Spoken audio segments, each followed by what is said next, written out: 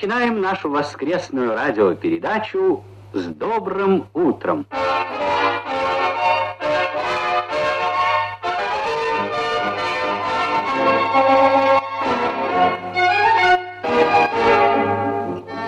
С добрым утром, уважаемые радиослушатели! С добрым январским воскресным утром!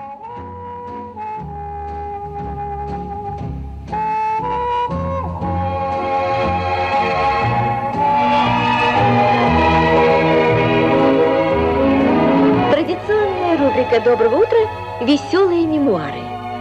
Сегодня у нас в гостях народный артист республики Сергей Александрович Мартинсон.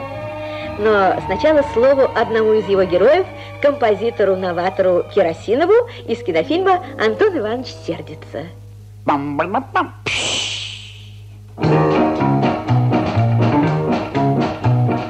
Надюша, вспомни вечер и радость первой встречи. Она, она волнует без вина.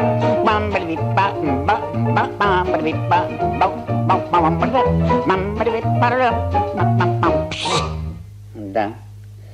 Антон Иванович сердился. Если вы помните, нашим творческим разногласиям был посвящен целый полнометражный художественный кинофильм. Он так и назывался «Антон Иванович сердится». Меня, композитора, домушника, э, не, пардон, э, композитора-надомника, обвиняли в том, что я использовал известную песенку «По улицам ходила большая крокодила». Ну, позвольте, разве у моей мелодии много общего с, с этой самой крокодилой? Вот смотрите, там хищный зверь, крокодила. По улицам ходила большая крокодила, она, она голодная была. А видите, а у меня нежная девушка Надя. Надюша, вспомни вечер, и радость первой встречи. На лицо самое законное присвоение, э, э, освоение народного фольклора. Или творческое осмысление художника. Сергей Александрович, а с чего же началась ваша творческая жизнь? Вот как вы стали актером? Ну, вообще, все начинается с детства. С каких-то детских увлечений. Например, моему другу Роману Кармену в детстве подарили фотоаппарат, а потом он стал знаменитым режиссером документального кино. А у меня в детстве был дома патефон. Я очень любил слушать пластинки и сам любил подпевать этим пластинкам. Между прочим, у меня неплохо получалось.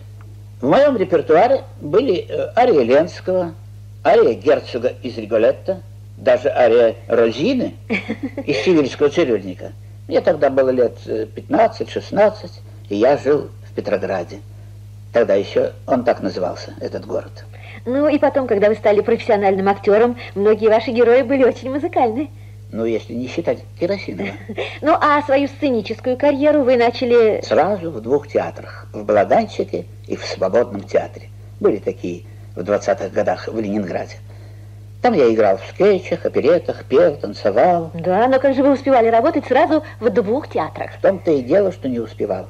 Хотя бежать из одного театра в другой было не очень далеко. Минут 6-7. Однажды, это случилось в году в 23-м, я даже сорвал премьеру в «Балаганчике». Не успел к началу сеанса. Был страшный скандал.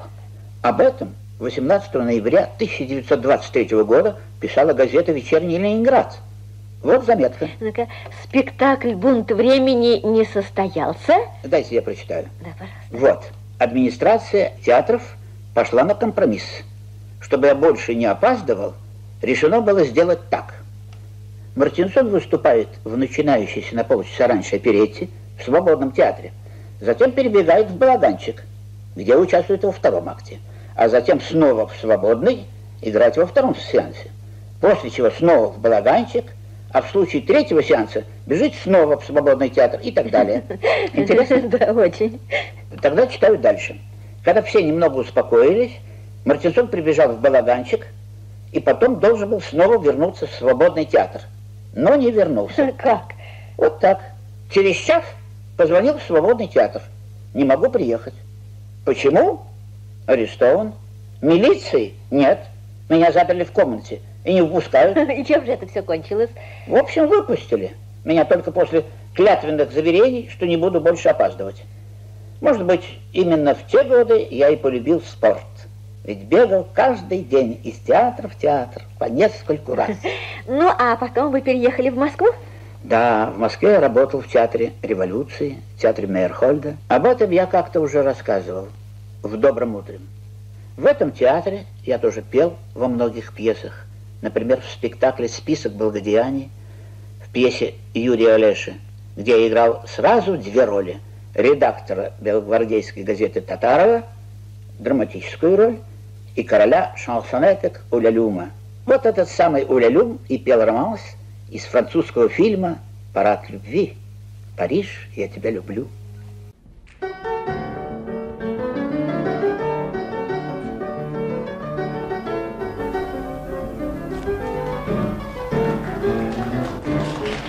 Bonjour, bonjour les hirondelles, il y a de la joie.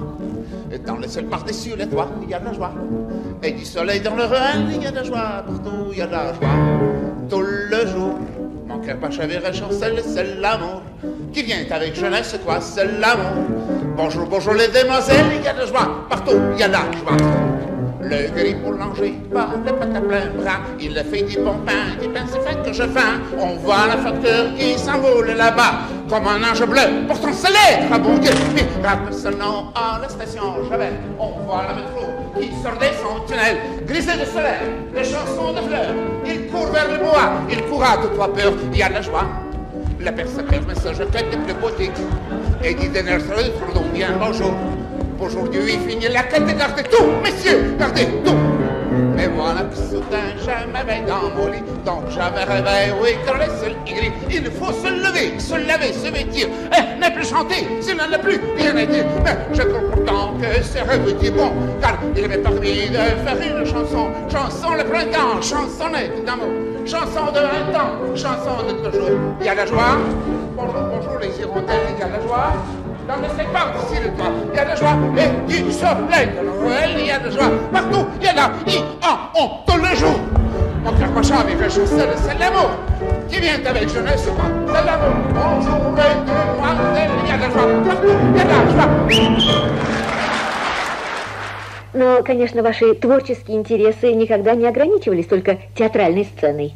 Да, я выступал в московском мюзик-холле, на эстраде, ну и, конечно, всю жизнь снимался в кино.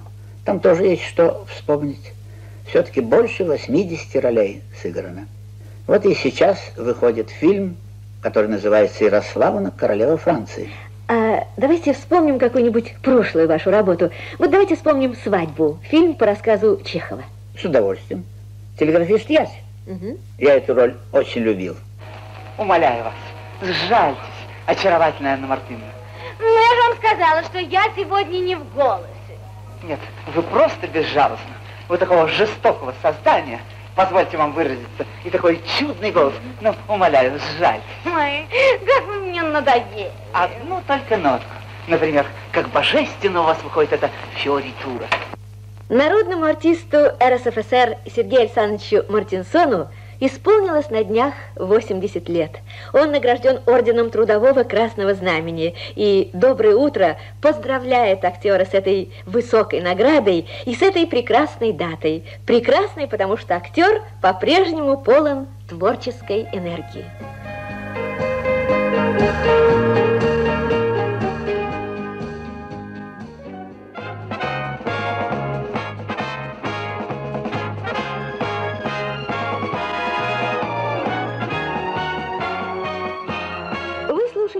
Радиопередачу «С добрым утром», подготовленную отделом сатиры и юмора Всесоюзного радио. Вела передачу Тамара Кузина, режиссер Анатолий Борисов, музыкальный редактор Ирина Земскова, редактор Людмила Яковлева.